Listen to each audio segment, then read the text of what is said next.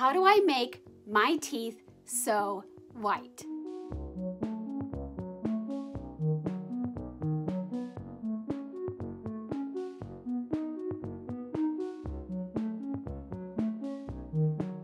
Now, I would not be making this video if there wasn't a demand for it. But I've noticed throughout the years, in person and online, people keep asking me how I whiten my teeth, how I keep them white. And they ask me as if I'm gonna tell them some sort of secret. And honestly, there's no secret. Like, I don't have anything special that I do that people don't know about. I do all basic things. I think the key factor is that I am so teeth obsessed that I do these basic things every day. Like I'm very diligent with the routine. Oh my God, what's, I have an ant. Oh my God, okay. I'm sorry, I'm a little bit distracted. I am now looking for a trail of ants in my room. we'll just gloss over that like it didn't happen. This video is not going to put a lot of focus on teeth whitening strips because I feel like we both know that if you slap them on for seven days, that they work. They're good stuff, you know, big fan, and I'll be upfront.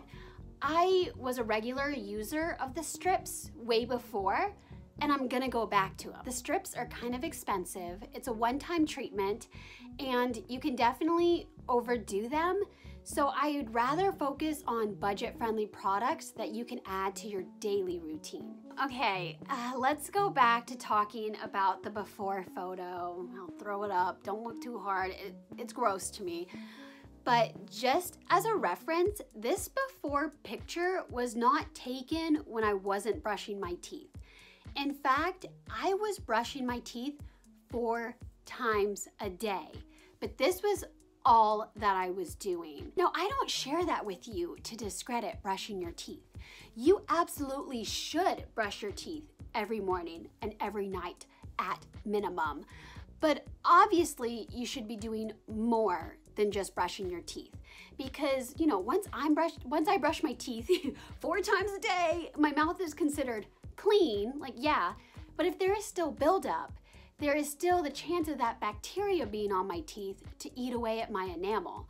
So we all should be going above and beyond. And also just so you know, like I know my teeth look really great on camera right now, but I have a ring light which, you know, illuminates my features, including whitening my teeth. And I whiten my teeth on pictures before I upload them to Instagram. And that's just being a YouTuber for you. Because as somebody who posts myself online and is subject to public scrutiny, yeah, having buildup on your teeth is not okay. What you eat and what you drink is a big part of your teeth care. And I feel like it's disappointing, but we're not surprised because anything that tastes really, really good is just so bad for you. And it stinks that teeth care is on that list, but it is. Uh, personally speaking, I do not intake a lot of sugars. That can be a big factor there. And then whenever I eat anything that is citrusy, you know, like just acidic, I make sure to brush my teeth right after so none of that citrus is lying on my enamel and eating away at it. The biggest misconception that really breaks my heart is a lot of people think having a great smile is directly associated with straight teeth when it's really about a healthy mouth because I like my smile and other people tell me it's great, but there's so many imperfections with it. Like I have knots in my teeth or this tooth sits straight when it should be at a tilt. And these bottom teeth are not level, which this is real sad. They were level. I got braces, and then when I got them off, this is what I had. and they're in the front and people can see them and it's, I'm, it's just, I'm a little still angry about it because braces hurt really bad for me and they're expensive. But it just goes to show like you really, everybody has a unique smile to them and there's no such thing as perfection. And it's not related to having a great smile. So I just want to make that clear because everybody should love and invest in their smile and nobody should be ashamed of it. So, okay, we can keep going.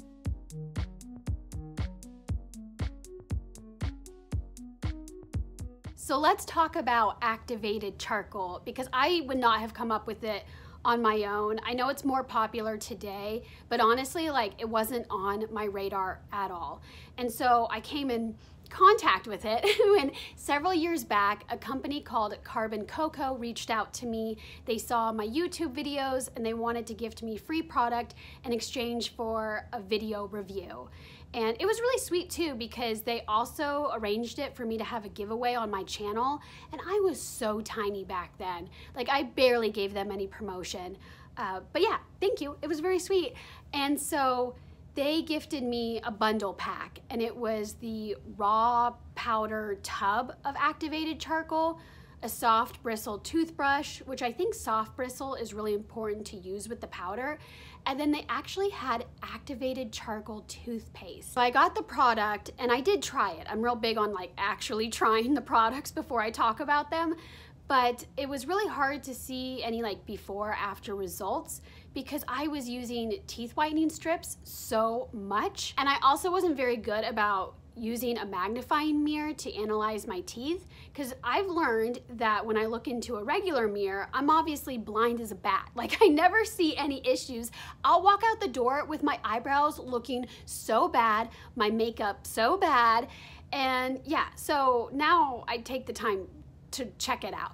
But anyway, so to me then it was kind of like, oh, like this is such an added step to my routine. It's not really worth it. I, I fell out of habit with it. I liked it, but I stopped. I put it in a drawer and now in my dire need, I had to bring it back out because I wasn't gonna spend money in quarantine on teeth whitener. I don't know if you needed to know all that, but like, yeah, that's why. Like, I don't wanna seem like all of a sudden I'm pulling out a product years later and now promoting it, but that is why. Like, so now I'm looking and I see the buildup on my teeth, so I used it. I got back into the routine. I think the most effective to getting the buildup off is the actual tub of powder. It's just safe enough friction to get all of that gunk out. But like as soon as you touch it to your teeth, your entire smile is black. When you go to spit in the sink, it's pure black. It looks so messy, but it's really not because it doesn't stain. Like I have no sink bowl stains, the counters are okay, my mouth is okay, but still like you have a lot of crevices in your mouth. So when you follow up with the activated charcoal toothpaste, it gets really frothy and it gets all of the powder out of your mouth. And it's really neat because the toothpaste is also pure black, but instantly it turns white it tastes good. I like it. Maybe it's just there for funsies, really. The one thing I want to tell you about the powder is that you can overdo it. So first, I will wet the soft bristle toothbrush and then I will just lightly, ever so slightly tap into the powder. I'm telling you, a little goes a long way, which is good too because you're getting more bang for your buck because you're getting so many uses out of the powder. But I have overdone the powder and I get it under my gum line. And I'm telling you, that doesn't go away. like you can use the toothpaste on it, but it's not gonna be able to access that under gum line. Clearly, I know this because it's happened to me. Do not panic. So what you can do is you can take your toothbrush, I'm gonna use my finger, and you start like, you press it right here to the top of your gum and you work your way down to kind of push it out. Do not in any way move the tooth bristles upward or get some type of toothpick to try to dig it out. I am telling you, you do not want to mess with your gum line because over time you can permanently push it up. And then I hear like you need surgery to bring it back down. And we're not looking to pay more money here. the whole point is this is a teeth whitening hack, you know? So um, I will say though, if that toothbrush method doesn't work, don't worry, like your gums naturally want to push that stuff out. So it does take several hours. Usually by the end of the day, it's gone. So as you're learning to use it, maybe try it out on a weekend and then you'll be good because that black is a strong black and that will show up in pictures and from a mile away when it's in your teeth like that. Now I can't speak for other brands, but honestly, I kind of assume that like all activated charcoal teeth whitening products are the same. I looked up Carbon Coco and I see they are now on Amazon and they are budget friendly. So at least you have my recommendation with that. Of course, I have product links down there in the description. They may or may not, no they are. They are totally Amazon affiliate links. but it's okay. Like if you choose not to shop my links or you don't want to shop Carbon Coco, but um, yeah, all of that I felt like it was very affordable because again, it's something that you can stretch out to have last you all year. Okay, let's move on, but I will, like I say, the activated charcoal was the biggest game changer when I implemented that back into my routine. But also, let's talk about flossing. I know you hear before, everybody talks about it. And we all forget to do it. Like, I am so bad at doing that. And I don't know why, because floss is really the only way that you can clean and polish off the sides of your teeth. I don't know if you know this, but there's actually two different types of floss out there. So there's the tape kind, which kind of looks like a tapeworm. And then the other one is like a circular string. I don't really have a preference as long as it tastes like mint because after I use it, I ball it up and I put it in my mouth and I suckle on it like a lollipop. I think it doesn't really matter which one you use. Maybe it's best to get both and alternate. Um, there's also different sizes out there, like different circumferences. It's, it's really whatever, but I think the biggest bang for your buck is how you use the floss. Take the time to really, like, like when you put it in between your teeth, really go at all angles, back and forth, jiggle it, whatever you gotta do, just to actually envision yourself polishing the sides of your teeth. Depending on how much buildup you have to tackle, or if you have like a unique tooth shape, a weird area that's hard to get to, you may want to invest in other bristles. Now, I'm not talking about toothbrushes here because it's basically more so on preference there. Like there's hard bristle, medium, soft bristle. I can't really tell you which one is the best for you, but a harder bristle toothbrush doesn't exactly mean that it's better because you still want to be gentle with your gum line. You don't want to be so abrasive every single day with the outer layer of your teeth. You don't want to wear them down. So proceed with caution with the harder bristle brush. What I'm talking about is that I have found in my cupboard one of those travel toothpicks with the bristles and they come in different types and sizes. And I was using that to focus on my problem areas. Well, you saw the pictures. I had a lot of buildup on my canine and my molars right here. And then also, fun fact, I have knots right here in my teeth, like a tree knot, like a hole, and it's symmetrical to me, so that's great. But, you know, I could use a little extra love. You know, it's a little canal where germs can set, so I take the little bristle, go in and out there. Yes, yeah, so I'm still on the one. I'm gonna use it again and again. When it breaks, I'm gonna be done for a long period of time because I don't think it is essential for everyday use. And again, Mother Nature, we love her, we must respect her. Let's talk about mouthwashes. Now I am making this video in 2020 and there was such an online debate where, you know, if mouthwashes do disinfect your mouth, is it killing the bad virus? You know, is it keeping you from swallowing it and contracting it? Well, if I remember right, there was a notification that was sent out that said that is not the case. Yet when I went to the dentist's office for my annual, they still gave me the procedure of rinsing out with mouthwash. So I think it does something. I think there's just not enough testing on it that these mouthwash companies cannot declare anything. But this video is supposed to be timeless. We're not talking about the 2020 scaries, you know, we're talking about in general. I own two mouthwashes, the typical disinfecting Listerine, you know, the alcohol, the burning sensation, mm. and then I have the second one is actually there if I were to cut my mouth, which is something because I am more higher risk to get thrush. So I have to take my soft bristle toothbrush and kind of work the roof of my mouth but I have scraped myself before. So I'm really happy that I have both of those on hand, but they are not in my daily or even weekly routine. It's something I come back to once or twice a month. Now, the biggest game changer for me is something that you did not see coming plastic retainers. So I was already on track to getting these. You know, I middle school, I had the spacer, the retainers, then I had braces. So of course, then it follows up with retainers. So I remember I had a plastic top one, I think, and a metal bottom one. And one day I woke up and the metal one didn't fit me. And it was so mind boggling because I would wear it every night but I think I had some weird inflammation. Anyway, So then I decided to get both top and bottom plastic retainers. There is talk that when you do have plastic on the top and bottom, it can change the alignment of your teeth slightly, just because when you think about it, the plastic is trying to match up those grooves. But I have not had an issue. Nobody's noticed it with me. Honestly, I'm totally fine with having both pieces be plastic. The reason though, like I'm really talking about this, is it is such a nice protective cover when I go to sleep at night. Now, I don't know if you've had this issue, and I've had it more so in high school. Even though I was obsessed with brushing my teeth, I would go to bed and wake up with white spots on my teeth. And I've tried to research it, like if it's plaque or if it's tooth decay, I don't really know, but I no longer have those white spots at all. And it was ever since I introduced those retainers on my top and bottom. Now you can actually talk to an orthodontist or a dentist about it, I definitely believe you should have a conversation with them. Maybe they'll say there's no need, it doesn't really do much. I just think it does.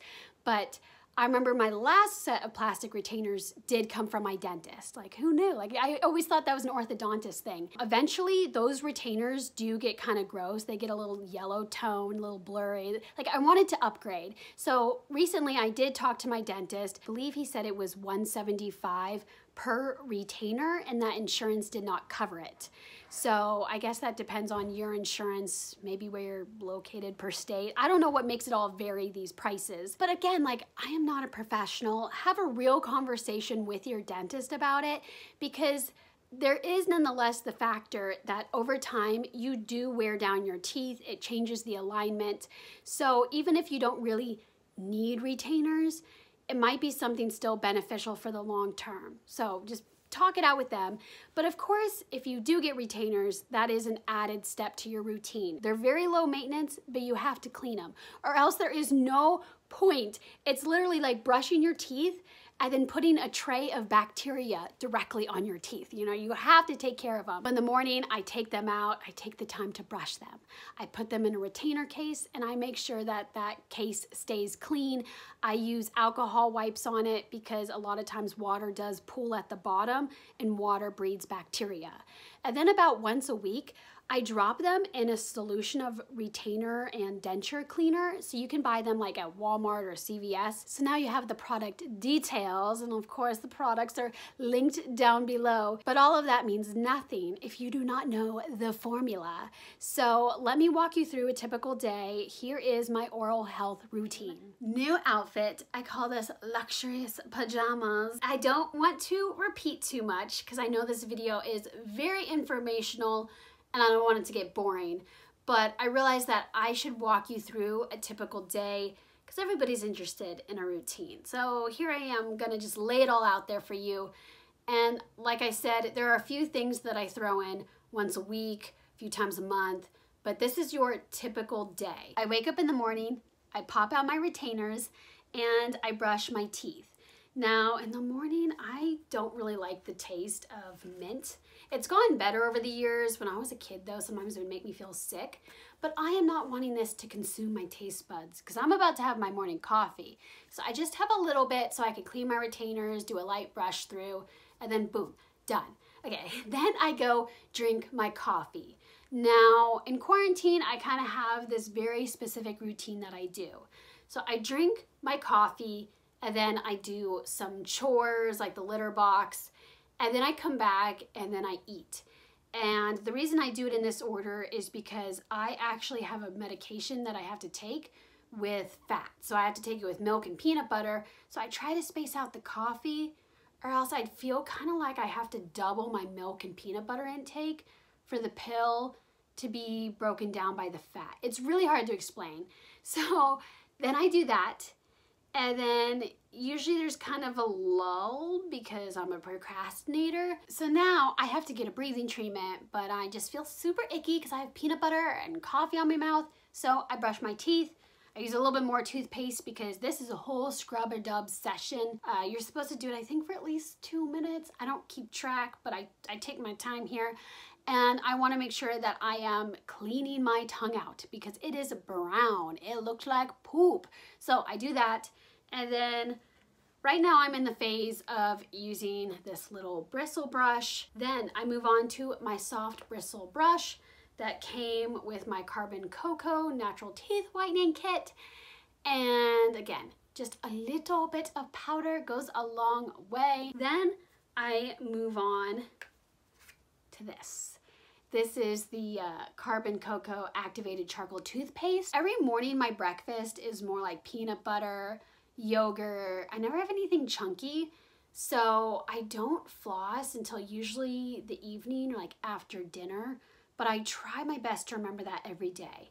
I am so bad at remembering flossing though. I'll just be upfront. Okay, so then next, this is something very personal to me, but some of you guys out there do this. Uh, you get breathing treatments. it's really great. And so with breathing treatments and then following up with inhaled steroids along with like a nose spray that has steroid in it that goes up and of course drains down the back, you always have increased risk of thrush.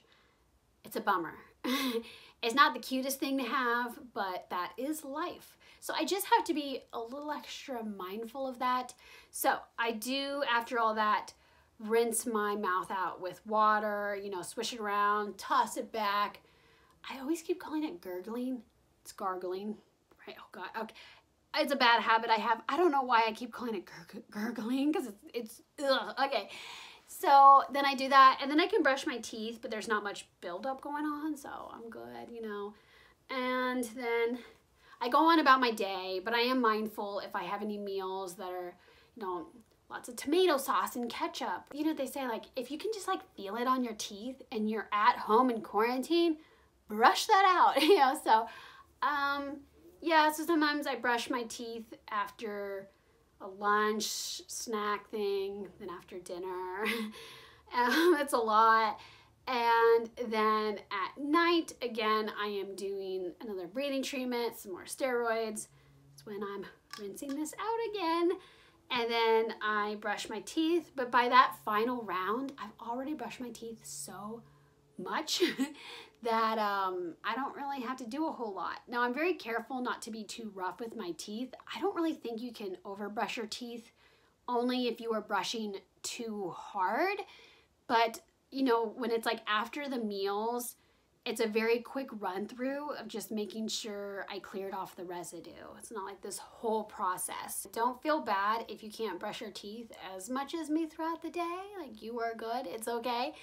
Um, I think the recommendation is twice a day, morning and night. So if you're able to just hit those, that is excellent. And remove your makeup every night too. That's, that's a good one. So my dental insurance covers me to get my teeth cleaned twice a year. And I know actually sadly that's pretty good. A lot of people just get one annual visit that's covered.